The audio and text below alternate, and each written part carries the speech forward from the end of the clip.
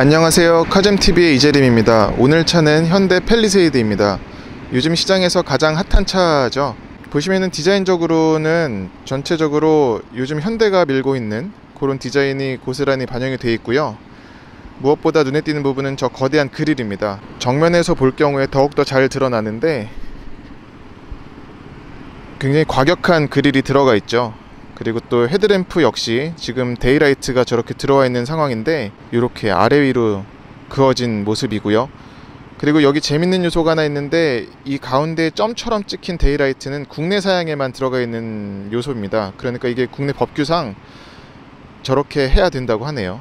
그리고 밑에는 LED 헤드램프가 들어가 있고요. 현대 full LED라는 게 쓰여 있어요. 이 그릴은 산타페에서 이미 봤었던 그런 디자인인데 이번 펠리세이드에서는 더욱더 과격하고 큼직하게 들어갔어요. 그래서 둘른 이 라인 역시 두껍고요. 그리고 또 여기 가운데에도 mesh가 아니라 이렇게 현대 엠블렘 주변을 마치 테트리스 블럭처럼 보면 되게 입체감이 있게 만들어 놨습니다.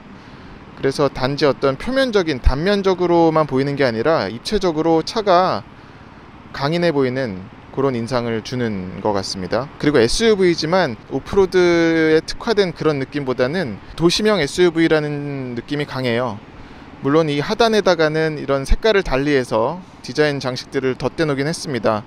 옆에서 봤을 경우에는 휠 하우징에도 플라스틱을 대놨는데 전체가 플라스틱이 아니라 이 차체 금속과 플라스틱을 적절히 섞어놔서 이런 부분 역시 SUV 대 요즘 이제 트렌드인 도시명 SUV라는 것을 강조하는 모습입니다. 엔진 후드를 보면은 이렇게 라인이 들어가 있는데 라인이 깊진 않습니다. 그래서 이 부분은 이제 차가 지금 덩치 자체가 되게 크거든요. 거의 5m 가까이 되는 길이를 갖고 있고 그리고 또 높이나 폭도 역시 바로 아래인 산타페와 비교하면 큰 디자인이라서 옆에서 보더라도 디자인 요소들이 꽤 들어가 있습니다. 특히나 요 greenhouse 주변에 두른 크롬 라인은 참 재밌는 것 같아요. 전체가 하나로 이어진 게 아니라 여길 또 이렇게 끊어놨어요. 그래서 처음 보는 라인이죠. 그리고 휠 역시 강인해 보입니다. 전면에 강인한 인상과 어울리는 그런 휠 디자인이라고 할 수 있겠고요. 신고 있는 휠 타이어는 지금 20인치인데 차체 차 사이즈 자체가 크다 보니까 그렇게 크게 보이지 않습니다. 그리고 이 차는 7인승이라서 뒤에는 두 개의 시트가 3열에 있고요.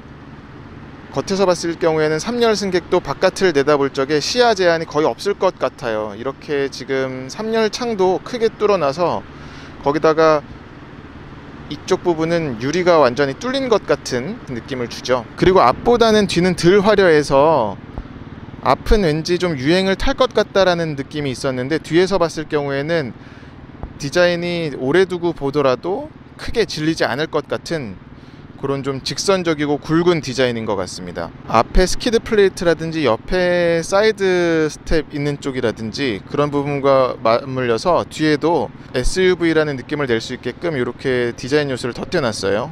네, 1열 인테리어를 보여드리겠습니다. 인테리어는 전체적으로 느껴지는 느낌은 되게 단정해요. 그래서 이 부분은 호불호가 갈리질 않을 것 같습니다. 보시면은 소재의 선택이라든지 아니면은 버튼 구성, 버튼의 배치, 생김새 이런 부분에서는 전혀 아쉬운 게 느껴지지 않는 구성입니다. 계기판은 이전에 이제 현대차에서 봤었던 아날로그와 디지털을 적절히 섞어놨고요. 양옆으로 이제 엔진 회전계와 속도계는 아날로그식을 취했고 가운데는 디지털 디스플레이 창을 띄워놔서 여기에서 이제 여러 가지 정보들을 보여줘요. 이 차는 운전자 보조 시스템도 모두 다 들어갔고요. 그래서 head-up display까지 들어갔습니다. 보시면은 네 이렇게 보이죠? 이제 설정을 다양하게 할 수가 있고요. 이 부분은 이제 여러 가지가 있지만 어떤 기존의 현대차에서 보여드렸었던 것과 완전히 거의 완전히 똑같습니다. 굉장히 세밀하게 조절할 수가 있죠. 그리고 steering wheel은 보시면은 감싸고 있는 가죽은 실내 가죽과는 살짝 다른 좀 더 부드러운 가죽입니다. 그래서 손에 잘 감길 것 같고 이쪽에 보시면 paddle shift까지 이렇게 갖췄습니다. 그리고 오른쪽은 운전자 보조 시스템들을 설정하는 기능이고요. cruise control을 포함해서 차간 거리 유지 설정이라든지 아니면은 그 cruise control을 다시 세팅하거나 리셋하는 기능들 그리고 방금 보여드렸었던 계기판 중앙 디스플레이를 어떤 메뉴를 띄울지를 보여주는 버튼이 여기 자리 잡고 있습니다. 그리고 왼쪽에는 모드가 있는데 이 모드는 오디오 모드예요. 그래서 엔터테인먼트 모드를 정하는 거라서 오디오를 뭐 라디오를 들을지 아니면은 CD를 아, 이 차는 CD는 없군요. 블루투스를 들을지 그런 걸 설정할 수가 있는 거고요. 또 음성 인식, 음성 명령이 가능해서 네, 말씀하세요.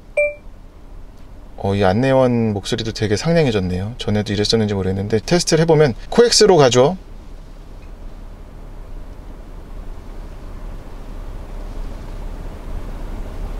서버 응답이 없습니다. 다음 화면에서 목적지를 검색해 주세요. 어, 이 목소리 좋네요. 하진 않을게요. 그냥.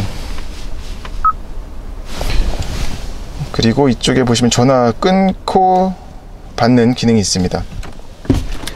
아, 이쪽은 보시면은 그리고 사이드 브레이크의 전자식 사이드 브레이크가 작게 있고요. 그리고 BLIS 사각지대 경고 장치를 활성화 비활성화 버튼 또 차선 유지 장치 차선 유지 경고 장치의 활성화 비활성화 버튼이 여기 있고요. ESP off 버튼과 그리고 이건 계기판 밝기 조절 그리고 얘는 높낮이입니다. 헤드램프 높낮이 그리고 트렁크 열림과 닫힘 버튼인데 모두 지원합니다. 누르 처음 누르면은 열리고 지나서 이제 닫으면 또 닫히고요. 이쪽은 퓨즈 박스가 있는 퓨즈 박스는 OBD가 이쪽에 있네요. 그리고 페달을 보여드리자면은 어떤 스포티한 마감이 되어 있진 않고요. 그냥 고무를 덧대 놓은 상태고 엑셀러레이터는 오르간 타입입니다. 센터 디스플레이는 상단에 이제 돌출은 되어 있습니다만 어떻게 뒤가 붙어 있어요. 이렇게 붙어 있어서 흔들리지 않는 그런 식이고요. 터치로 조작을 합니다. 어떤 앱을 띄울지도 자기가 정할 수 있는 운전자에 맞춰서 정할 수가 있고요. 또 후석 취침 모드라는 게 있어서 아 이거는 이제 7열이잖아요 이 차가. 그래서 7인승이잖아요. 그래서 이 모드를 설정을 하면은 앞쪽에만 오디오가 나온다고 합니다. 그리고 볼륨 단계가 7이면 7 이상인 항목들 예를 들어서 삐삐거리는 소리라든지 아니면 내비게이션 안내 음성 이것들도 소리가 줄어드네요. 어, 이건 또 처음 보는 기능이네요. 그리고 후석 공조 장치 에어컨도 여기서 별도로 조절을 할 수가 있습니다. 후석 대화가 있어서 이건 혼다에서 보여드렸었던 cabin talk 기능과 마찬가지네요. 지금 소리가 좀 울리는 게 들리시죠? 차량 내 마이크가 있어서 앞에 마이크가 이쪽 어딘가 있을 것 같은데 네 마이크를 통해서 운전자 음성을 뒤쪽 스피커를 통해서 더 크게 잘 들리게 해주는 기능입니다. 근데 선배 이거는 혼다 오디세이는 뒤에서 말해도 여기로 들, 어, 여기 마, 마이크가 있어서 음, 음. 들리는데 이거는 뒤에 마이크가 없어요. 그 달라요. 지금 말을 해준 김성건 기자 얘기처럼 혼다 오디세이나 파일럿과는 다르게 팰리세이드는 운전자 얘기만 뒤에 잘 들리게 하는 기능이네요. 그러니까 뒷자리 사람이 말할 적에 혼다 차들은 뒷자리 승객이 말하는 것도 앞에 잘 전달되게 해주는데 얘는 일방 적으로 운전자 얘기만 크게 해준다고 합니다. 얘도 물론 그리고 미러링을 지원을 해서 Android Auto, Apple CarPlay 모두 지원합니다. 그리고 중단에 보시면 버튼들은 플라스틱에다가 칠을 했잖아요. 이건 이제 자리를 잡아서 깔끔할 뿐만 아니라 어떤 좀 첨단적인 느낌도 내고요. 그리고 여기도 보시면 대시보드 위에는 라인이 들어간 처리를 해놨어요. 고급스럽게 연출한 게 아닌가 싶고요. 그리고 이런 다이얼의 조작 느낌도 훌륭합니다. 정확하네요. 톡톡톡 걸리는 느낌이 있고 여기 살짝 보시면 ambient light도 뒤에 들어가서 밤에 보면은 약간 잘 잡히고 좀 고급스럽게 보이겠어요. 그리고 중단에 보시면 온도 조절 장치가 있고 0.5도씩 조절할 수 있네요. 그리고 숫자도 큼직해서 이 부분도 참 괜찮은 것 같습니다. 또 여기 나무 마크는 요즘 미세먼지 때문에 다들 고생이시잖아요. 이거는 이제 미세먼지까지 바깥으로 빼는 그런 장치 기능이라고 보시면 되겠습니다. 그리고 버튼식 기어 변속기가 적용이 돼서 파킹과 R&D가 이렇게 돼 있고요. 또 N neutral은 또 가운데는 일관되게 이렇게 은색으로 안 해놓고 high glossy를 썼어요. 이것도 어떤 디자인적인 요소 모드라고 보실 수 있겠습니다. 그리고 여기 이제 드라이브 모드 SUV잖아요. 드라이브 모드를 설정할 수 있는 다이얼 버튼이 있는데 보시면 이제 terrain이 있고 누르면 드라이브가 있어서 드라이브는 comfort, eco, sports, smart가 있고요. terrain을 누르면 snow, mud, sand가 있어서 운전 드라이브 모드는 네 가지 그리고 이 지형별 모드는 세 가지를 선택할 수가 있겠습니다. 그리고 SUV답게 여기는 hill descent control 내리막길에서 속도 제한을 거는 거죠. 그 기능도 들어있고요. parking assistant 알람을 끄거나 켜거나 하는 기능 그리고 여긴 카메라 기능인데 이건 한번 화면으로 보시죠.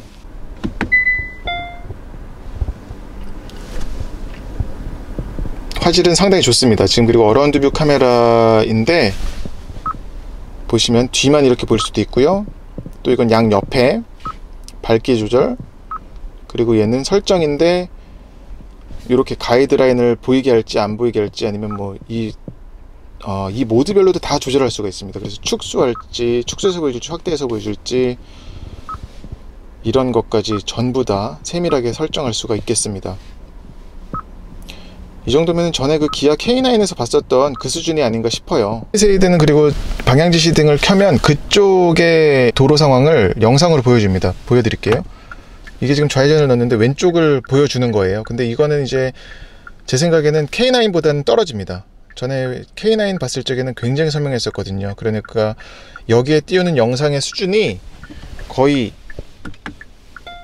파킹 눌적에 보여주는 이 센터 디스플레이 수준으로 선명하고 또렷했었습니다. 근데 얘는 그 정도는 아니에요. 지금 보시기에도 차이가 느껴지시죠?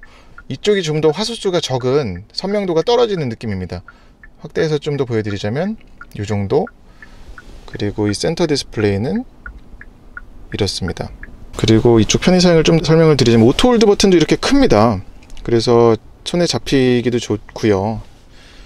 또 이쪽에는 통풍 열선 시트가 들어가 있고 열선 steering wheel까지 이쪽에 자리 잡고 있습니다. 조수석도 물론 적용이 됐고요.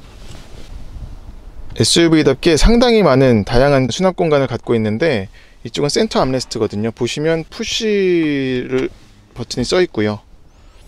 누르면 공간이 볼 땐 그렇게 크진 않아요. 여기는 이제 USB 포트가 있고 여기는 이제 블루투스 무선 충전 패드가 있어서 네 바로 인식도 잘 합니다. 그리고 이쪽에는 컵홀더가 두 개 있는데 컵홀더가 재밌어요. 화살표가 있잖아요. 돌아갑니다. 이쪽도 마찬가지고요. 이렇게 하면 넓게 쓰는 거예요. 그리고 여기를 누르면 순식간에 이렇게 또 튀어나오면서 제대로 된 컵홀더가 되죠. 이건 참 기능적으로도 그렇고 모양새도 훌륭해서 상당히 호평받을 칭찬받을 요소인 것 같습니다. 이게 그리고 김선관 기자 얘기로는 구형 모닝에 적용됐었던 편의 사양이었었대요. 그래서 그때 아마 반응이 좋았었나 봅니다. 그래서 다시 끄집어낸 근데 왜 계속 쓰지 않았나 모르겠어요. 상당히 마음에 드는 기능입니다. 열쇠는 이렇게 생겼어요. 어떤 디자인적으로 크게 다른 현대차들과 다른 건 없지만 만듦새나 크기도 괜찮고요. 주머니에 넣어도 처지지 않을 것 같고 그리고 또 이쪽을 열어보면 이런 트레이가 별도의 트레이가 또 있어서 공간이 워낙에 깊거든요. 그래서 이걸 이용해서 꺼내기 쉽게끔 해놨습니다. 이쪽에 조수석에 탄 사람이 줄고 앉았거나 그러면은 매너 있게 눕힐 수 있는 기능이죠. 그리고 슬라이딩이 있고요. 그리고 펠리세이드는 썬루프가 두 개입니다. 앞쪽에는 이렇게 있고요. 선쉐이드는 수동으로 여닫는 식이지만 위에는 전동식이라서 이쪽 버튼으로 조절을 합니다. 네, 이쪽에는 썬루프 조작 버튼과 실내 등 버튼과 rear sunshade도 이렇게 닫을 수가 있어요. rear 선루프는 그리고 오픈은 안 됩니다. 그냥 sunshade만 열었다 닫았다 할 수 있는 수준이고 그리고 블루링크 조작 버튼이 있고요. SOS 버튼이 있고 SOS 버튼은 바로 연결이 돼서 종료해야겠네요. 그리고 이건 선글라스 케이스는 아니고요. 열어보면 뒤를 볼 수 있는 실내경입니다. 이것 역시 미니밴들 에서 볼 수 있는 요소인데 참 선명도가 좋네요. 약간 좀 다른 거울을 쓴 것 같아요. 조작감도 훌륭하고요. 그리고 이 roof lining이 일반 roof lining이 아니네요. 지금 만져보니까 소재가 이거 역시 좀 좀 더 고급 소재를 썼네요. 만져보면은 네 일반 직물 부직포 같은 느낌이 아닙니다. 센터 터널 밑에 보면은 이런 수납 공간이 또 있습니다. 여기는 충전 포트가 하나 있고요. USB 충전 포트가 있고 12V 시가잭이 자리 잡고 있습니다. glove box는 별도의 어떤 부직포를 두르거나 하진 않았네요. 그냥 생 플라스틱을 노출을 해놨고요. 공간은 큽니다만 이 부분은 뭐 나중에 개선이 될 수는 있는 여지가 있겠네요. 1열에서 뒤를 바라본 모습인데요. 보시면은 가운데가 이렇게 뚫려 있죠. 이 부분 때문에 이제 뒤로 드나드는 사람도 편할 뿐만 아니라 2열에 앉은 사람들이 상당히 편하게 넓게 앉을 수 있겠습니다. 네, 2열을 보여드리겠습니다. 2열 지금 공간은 제가 평상시 앉는 상태로 했을 경우에는 이 정도 레그룸이 나와요. 근데 슬라이딩이 또 돼서 슬라이딩을 하게 되면 주먹이 지금 한 개 반 정도 들어갈 공간이 나오고요. 또 이쪽에도 편의 사양이 상당합니다. 이쪽 도어 포켓을 보면은 cup holder가 두 개나 있고요. 크기가 좀 다른 cup holder고 이쪽엔 sunshade가 수동으로 또 이렇게 자리 잡고 있습니다.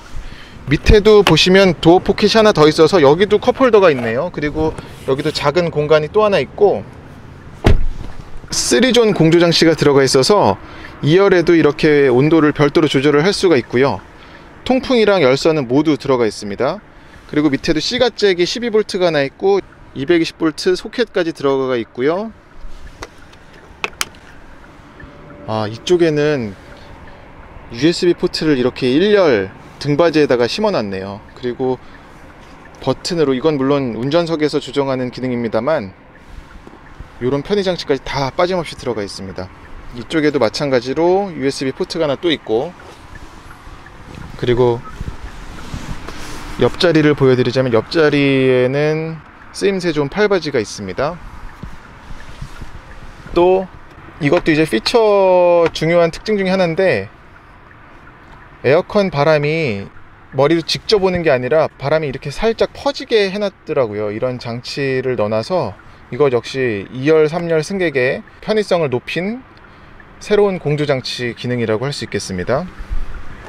뒤에도 이런 커다란 포켓이 있고요. 지금 제가 이 정도 공간을 둔 채로 3열에 넘어가서 한번 보겠습니다. 네, 지금 그 상태에서 3열로 넘어왔는데 그렇게 왔는데도 무릎 공간이 괜찮네요. 그리고 무릎 공간도 괜찮지만 아까 바깥에서도 말씀드렸었지만 3열에서 내다볼 적에 바깥 공간이 꽤 괜찮아요. 이 창 크기가 좋아서 지금 시야가 거의 걸리는 게 없습니다.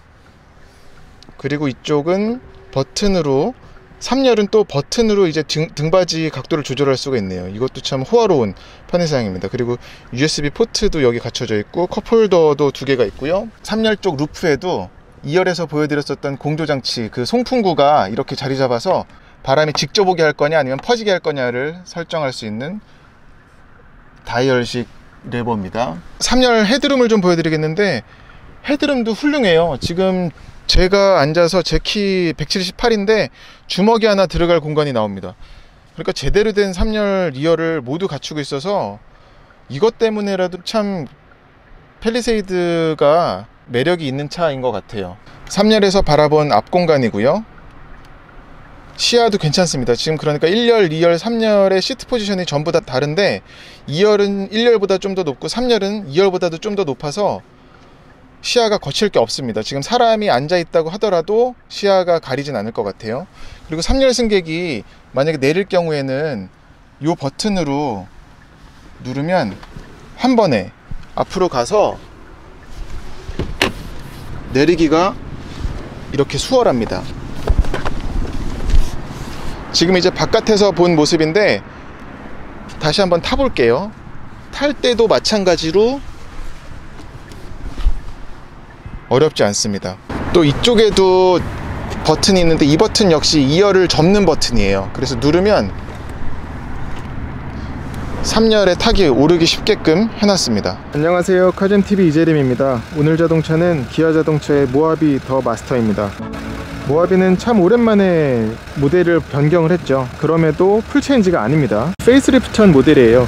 하지만 변화의 폭이 너무 크고 너무 오랜만에 바뀌어서 full change 하는 모델처럼 보이는데 아이고 특히나 정면에서 볼 경우에는 이 그릴이 기존에는 tiger nose였었잖아요. 그랬는데 이제 tiger face로 아예 진화를 하면서 이제 전면의 모습이 상당히 좀 대범해졌습니다. 차의 이 터프한 이미지와 맞물려서 잘 어울리는 것 같아요. 무엇보다 이 전면에 보시면 라디에이터 그릴과 램프가 아예 합쳐진 듯한 그런 인상을 주는데 지금 라이트를 보시라고 이렇게 좀 켜놔봤거든요. 비상등을 켜게 되면 오른쪽뿐만이 아니라 이 daylight들이 사라지더라고요. hidden 램프를 기아도 주장하진 않지만 daylight가 들어오는 게 약간 이 라디에이터 그릴과 같은 지금 문양인데 이렇게 해서 좀 숨겨진 듯한 숨겨졌으면서도 좀 강해 보이는 그런 인상을 만들어내고 있습니다. 또 앞에 이 엔진 후드도 보닛에도 이렇게 좀 굵직한 날카롭게 라인을 파놨잖아요. 근데 이게 또 한 가닥이 아니라 두 가닥씩 이렇게 굵직굵직하게 들어가 있어서 이것 역시 차에 좀 힘 있는 그런 이미지를 강조하는 것 같습니다. 그리고 범퍼 하단에도 보시면은 이런 좀 다른 색깔의 플라스틱을 덧대놔서 또 SUV로서 그런 성격을 강조하기도 하고요. 또 밑에는 안개등이 양옆에 이렇게 자리 잡았습니다. 전체적으로 볼 적에는 차가 어떤 square, 네모를 많이 쓴 것 같아요. 동글동글한 형태는 거의 눈에 띄지 않고 각진 형태들을 많이 집어넣어서 차가 더욱 좀 단단해 보이는 그런 인상을 줍니다. 이 각도에서 볼 경우에 상당히 차가 좀 세 보이죠. 옆에서 볼 경우에도 기존 모하비와 똑같은 형태를 갖추고 있습니다. 그러니까 사이즈적으로는 지금 모하비 더 마스터가 큰 차이가 없어요. 높이만 좀 낮아졌고 길이 그리고 또 너비 모두 전과 비슷합니다. 지금 그리고 휠 타이어는 20인치를 끼웠는데 차 사이즈가 크다 보니까 그렇게 크게 안 느껴지죠. 그리고 이 도어 스텝에 있는 장식도 전엔 없던 겁니다. 뒷모습도 앞모습만큼이나 많이 달라졌어요. 파격적이죠. 앞에서 봤었던 그런 좀 센 tiger face가 앞에 있었다고 한다면 뒤에는 호랑이가 떠오르는 그런 건 아니지만 앞만큼이나 뒤도 그런 꽉 찬 느낌을 줍니다. 무엇보다 이 테일 램프들 네모지게 이렇게 마치 바둑판처럼 이렇게 해놓은 것들과 어울려서 가운데 모하비를 양각으로 이렇게 모델명을 써놨고 크롬 바까지도 이어지고요. 또 하단에도 이렇게 머플러를 네 가닥이나 하지만 저건 가짜예요. 뚫려 있진 않습니다. 머플러는 이 오른쪽에만 지금 밑에 하나가 빠져 있는 걸 찾을 수가 있고요. 그 외에도 이렇게 차가 각진 요소들을 많이 써서 앞뒤로 강인해 보이고 단단해 보입니다. 근데 아쉬운 게 있다면은 앞에는 방향지시 등까지도 LED인데 뒤쪽 테일램프의 방향지시 등은 기존 전형적인 어떤 할로겐 타입, bulb 타입의 방향지시 등이 들어갔네요. 네, 모하비 더 마스터 인테리어를 보여드리겠습니다. 인테리어의 변화폭이 상당히 커요. 사실 모하비 더 마스터 같은 경우는 주행기도 보여드리겠지만 주행기보다는 인테리어에서의 기능 설명 그리고 디자인 설명에 대한 부분이 더 말씀드릴 게 많은 것 같습니다. 보시면은 기존 모하비가 떠올려지는 부분은 없죠. 요 엠블렘 모하비 전용 엠블렘 빼고는 오피러스에서도 쓰였었던 요 엠블렘 빼고는 똑같은 게 없다고 봐도 될 정도로 완전히 달라졌습니다. 그래서 이 계기판 또 그리고 센터 디스플레이 그리고 또 여기에 쓰인 이런 나무도 이 우드가 이게 지금 우드 그레인이 아니라 실제 진짜 나무 같은데 잘못 쓰면 굉장히 좀 차가 노티나는 그런 느낌을 줄 수가 있죠 근데 얘는 나무도 상당히 잘 쓴 것 같고 이 위에는 지금 우레탄입니다. 근데 우레탄을 가공을 좀 가죽처럼 했어요. 그리고 이런 스티치도 넣어서 좀 더 고급차 같은 느낌을 내려고 했죠. 만져보면은 우레탄, 나무 그리고 여기는 이제 하이그로시 또 이쪽도 우레탄이네요. 그러니까 가죽이 쓰인 부분은 상대적으로 적습니다. 이런 암레 같은 경우를 좀 보면은 음 그래도 이런 팔꿈치나 팔 상박이 닿는 부분은 가죽을 썼어요 근데 여긴 다 우레탄입니다. 색깔을 잘 맞춰서 지금 가죽인 것처럼 보일 뿐이지 우레탄이고요. 이 하단도 우레탄이고 여기는 그냥 생 플라스틱입니다. 그리고 이번에 신형 더 모하비, 아, 모하비 더 마스터가 달라진 부분이 문 닫는 느낌이 달라졌어요. 이 몰딩 같은 것도 개선을 했습니다. 그래서 닫아보면 닫히는 느낌이 참 고급차처럼 닫혀요. 이것도 전보다 달라진 부분이고 여기도 살짝 올라왔군요. 이것도 기존에 못 봤던 부분이지 않나 싶습니다 그리고 무엇보다도 눈길을 잡아끄는 부분은 역시나 계기판인데요. 계기판은 드라이브 모드에 따라서 달라집니다. 지금은 노멀 모드고 comfort고 이제 에코 또 스포츠 이렇게 세 가지로 달라지고요. 하지만 방향지시 등을 킨다고 해서 기존에 어떤 K7에서 봤었던 여기에 그 카메라가 비춰졌었잖아요. 그건 빠졌습니다. 이건 좀 집어넣을 수 있었을 것 같은데 아쉬운 부분이고 왼쪽 스포크에서 메뉴를 조작을 할 수가 있고요. 얘도 역시나 이 음성 명령을 누르면. 현대기아가 공유하는 카카오 아이가 들어가서 맛집 알려줘. 15개의 검색 결과가 취소. 음성 인식을 종료합니다. 네. 이재림이 누구야? 정보를 찾을 수 없어요. 반응 속도도 빠르고요. 또 뭐 이건 상당히 맨 처음 이제 소나타 DNA 때 등장했었던 기능인데 이제 현대 기아가 모두 공용하지 않을까 싶고 상당히 좀 도움이 많이 되는 음성 명령, 음성 검색 기능이죠. 카카오 아이를 활용한 그리고 여기는 이제 볼륨 조절이라든지 아니면 요거는 채널 그리고 전화 버튼이 있고요. 오른쪽 스포크에서는 메뉴를 고르는 버튼이 있는데 이걸 누르면은 이렇게 여러 가지 메뉴들이 뜹니다. 그래서 요소수 레벨 얘는 이제 EGR도 들어갔기 때문에 요소수 레벨까지도 뜨고요. 또 연비 trip 컴퓨터죠 여긴 속도계 그리고 compass는 요거 하나입니다. 내비게이션까지 뜨진 않아요 여기에 계기판에 운전자 주의 수준 이건 이제 휠 구동력 네 바퀴별로 구동력이 어떻게 걸리나를 보여줍니다 타이어 공기압 역시 주행 중에 표시가 된다고 하고 첨단 운전자 보조 기능도 모두 들어가 있어서 이걸 누르면은 활성화고 근데 지금 스마트 크루즈 컨트롤이 정차 정차 중이라서 작동은 안 하고요. 이따 주행 중에 보여드리면 요걸 눌러서 활성화를 하고 얘는 이제 auto steer 그리고 여기서는 이제 크루즈 컨트롤 세트인데 이건 속도 올리고 내리는 건 똑같습니다만 세트는 이걸 눌러야 돼요. 세트라고 별도의 어떤 글자가 써 있는 건 아니고 여기에 리턴 같은 표시가 있어서 뭐 손에 익으면 차 주인이라면은 조작하는 데는 음- 불편함은 없겠습니다. 그리고 이건 차간거리 조절 멀리 가까이 조절하는 버튼을 하나로 해놨고요. 이 스티어링 휠도 보시면은 손가락 파지하는 이 가죽 소재도 상당히 좋아요. 에어백이 들어간 부분은 지금 우레탄이긴 한데 여기 역시 상단에 쓰인 대시보드에 쓰인 이 우레탄과 같은 소재와 같은 무늬로 잘 해놓은 게 아닌가 싶습니다. 스포크는 4스포크 스티어링 휠이 들어갔네요 네 그리고 센터 디스플레이는 이게 굉장히 크죠. 가로형이고 화면 넘김도 좋고요. 메뉴가 굉장히 많습니다. 차량에서는 차 설명 버튼인데 이건 헤드업 디스플레이. 헤드업 디스플레이가 들어갔는데 이게 상당히 커요. 그리고 운전자 보조 기능이 있고요. 여기 보면 주행 보조 경고 시점 경고 음량 운전자 주의 경고 전방 안전 차로 안전 후측방 안전 주차 안전까지 모두 들어갔고 drive terrain mode는 변경 알림을 자세히 간단히 끄기. 자세히라면 이게 뜨거든요. drive selector가 참고로 여기 있습니다. 기어 knob 뒤에 있고요. 누르면은 terrain selector 한 번 더 누르면 drive selector. drive selector는 세 가지.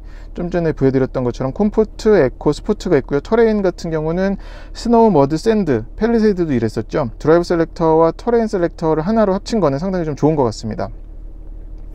그래서 terrain selector를 snow로 두면은 지금 보여드릴게요. 이게 mud 또 sand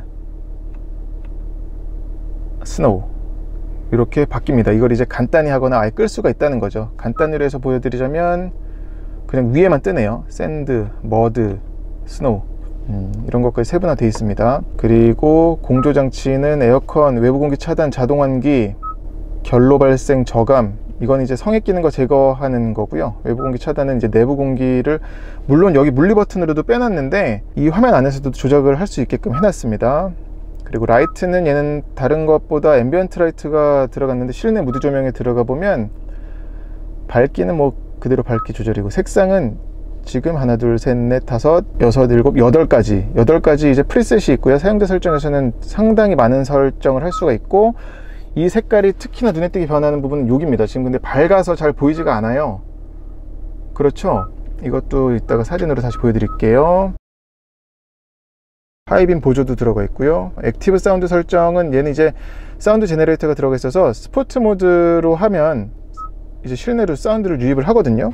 그리고 승하차 편의는 이제 핸들 운전대를 밀고 시트는 뒤로 해서 승하차 때 편하게 탑승하고 하차하는 기능입니다. 뒤에 트렁크 해치의 열림 속도도 설정할 수가 있네요. 느리게 하거나 빠르게 할 수가 있고. smart tailgate는 키를 소지하고 tailgate 접근 시 자동으로 tailgate가 열립니다. 얘는 그러니까 kick이 필요 없는 거죠. 또 음성 메모라든지 Apple CarPlay Android Auto 모두 지원합니다. 이 화면 넘김도 괜찮네요. 이 자연의 소리도 기존에 K7에서 봤었던 노천 카페, 을왕리, 바다, 벽난로, 길가 이 기능도 그대로 들어갔습니다. QLS는 지금 Quantum Logic Sound 관객으로 할지 무대로 할지 일반 모드 이퀄라이저를 세팅을 preset에 따라서 설정하는 거겠고요. car to home도 들어가 있고 운행 정보, 환경 설정, 후속 대화는 팰리세이드에서도 봤었던 기능이죠.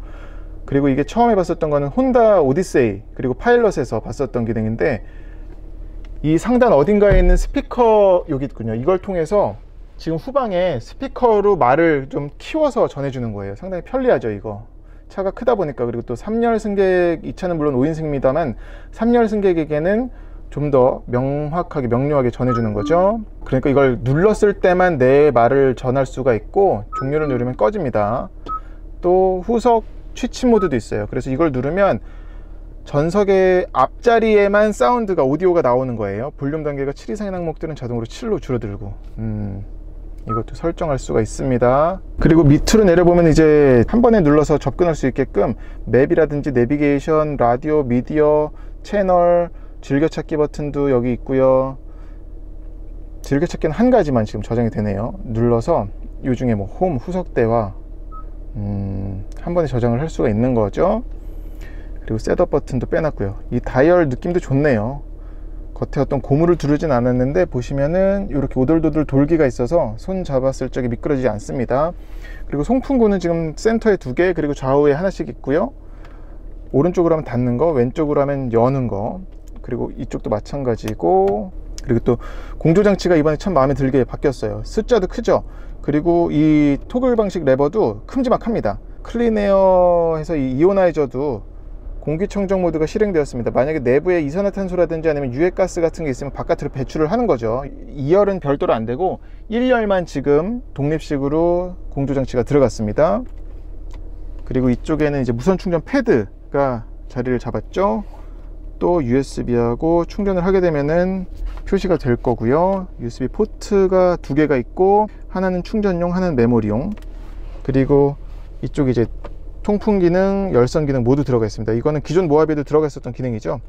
그리고 기어 노브의 디자인이 달라져서 요즘 봤던 기아차에서 봤었던 그런 디자인이 아닌가 싶습니다. 잡는 것도 훌륭하고 이 부츠도 가죽이 두껍네요. 어, 요것도 요즘 차들 보면 얇은 차들이 있어서 부실해 보이는 경우가 있는데 모하비더 마스터 같은 경우는 괜찮습니다. 이건 이제 좌우 앞뒤는 안 되고 돌리는 것만 돼요. 누르고 돌리는 기능만 됩니다.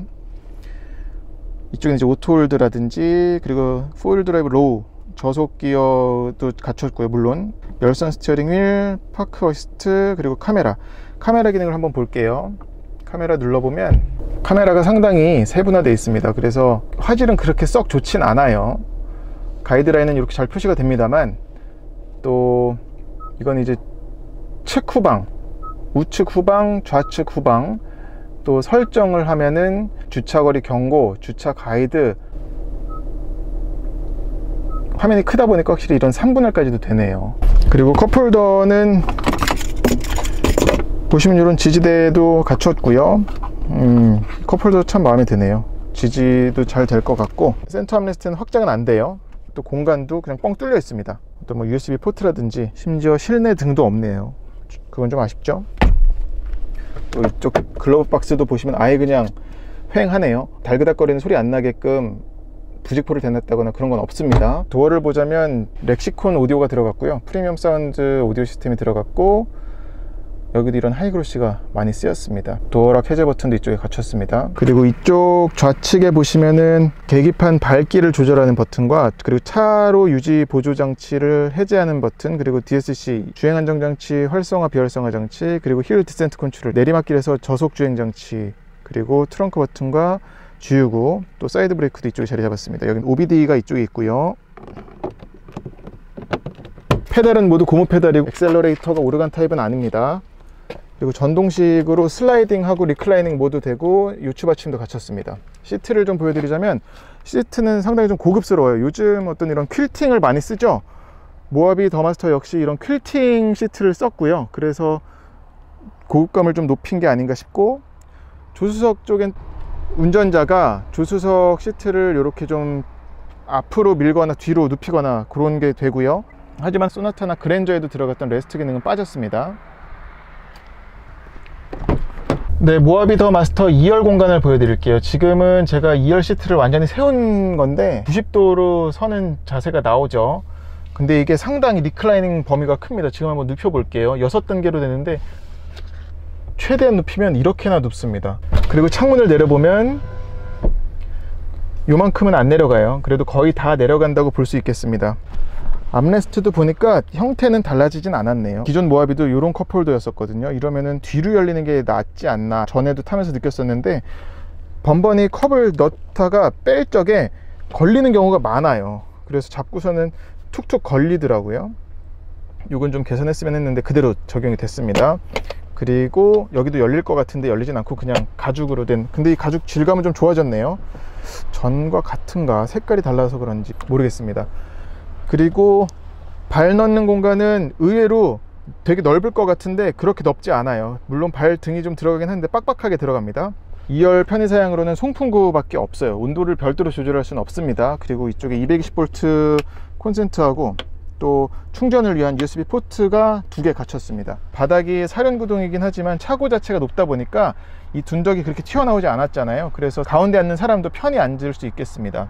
아쉬운 점은 이 썬루프가 일반 썬루프가 들어갔다는 거예요. 왜 파노라마 썬루프를 넣었으면 좀 더 차가 더욱더 좀 쾌적하고 실내가 넓게 느껴질 텐데 이 부분은 아쉽습니다. 헤드룸 역시 지금 눕혔을 경우에는 뭐 나무랄 데가 없죠 그리고 양옆의 공간 이 숄더룸도 괜찮습니다. 이쪽 글라스도 상당히 크게 뚫어놔서 이건 뭐 근데 기존 모합이랑 큰 차이는 없고 앞유리는 좀 두껍고요. 2열 유리는 좀 얇습니다. 2열에 앉아서 앞을 내다볼 적에 전방 시야는 훌륭한 편입니다. 두 단계로 조절할 수 있는 열선이 들어갔습니다. 2열의 도어 포켓은 그렇게 크진 않아요. 그냥 피트병 하나 하고 짐 정도 넣을 수 있는 공간이 있습니다. 그리고 여기 문고리 겸 또 핸드폰을 놓거나 그런 공간이 있고요. 도어 스텝도 물론 갖춰서 체격이 작은 사람도 쉽게 올라가는 데 도움이 되겠어요. 그리고 앞열도 도어 포켓은 큰 편은 아닙니다